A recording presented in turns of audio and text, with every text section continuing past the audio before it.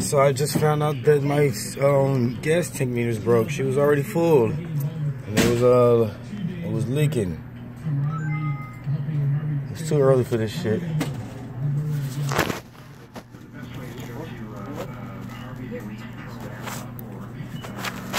I might want to put something.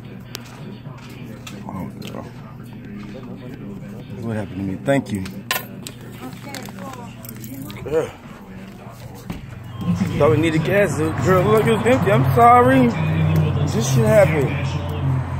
Girl, the ground is wet, child. Ooh.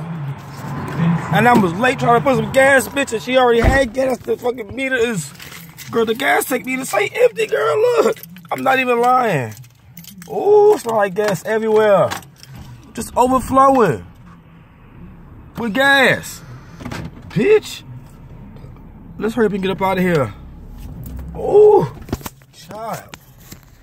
Life, oh, It's too early for this shit. Ooh.